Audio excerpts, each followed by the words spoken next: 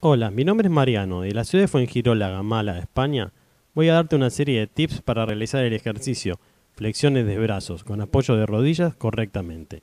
Este es un ejercicio clásico, tanto de fitness como para entrenamiento de una multitud de deportes.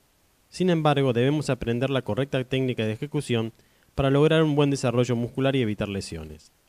Los músculos principales implicados en el desarrollo del ejercicio son pectoral mayor, pectoral menor, deltoides anterior, coracobraquial, infraespinoso, redondo menor, tríceps y anconio.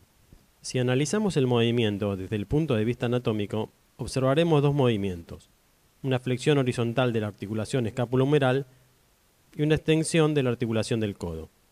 Apoyamos las palmas de la mano a una distancia ligeramente superior al ancho de hombros.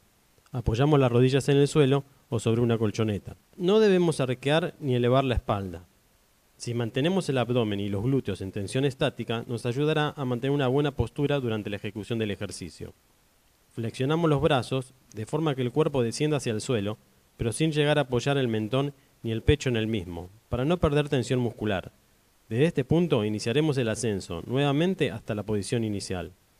Este ejercicio no es una buena opción para ser realizado por personas con sobrepeso o personas obesas, ya que los músculos intervinientes en el ejercicio probablemente no sean capaces de movilizar el cuerpo de estas personas, por lo que sería una mejor opción entrenar estos músculos con máquinas de musculación o pesos libres, en lugar de con el propio peso corporal.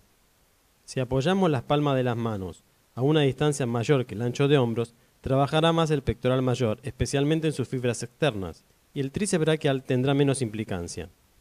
En cambio, si el apoyo de las manos es más angosto que el ancho de hombros, el tríceps desarrollará más tensión. Con lo cual, dependiendo del trabajo de qué músculos deseamos priorizar, decidiremos el apoyo de las manos. En cuanto a la respiración, expiramos cuando elevamos el cuerpo, es decir, durante la extensión de brazos, que vendría a ser la contracción concéntrica. E inspiramos cuando descendemos el cuerpo, es decir, durante la flexión de brazos, es decir, durante la contracción excéntrica. Si te ha gustado mi vídeo, por favor compártelo.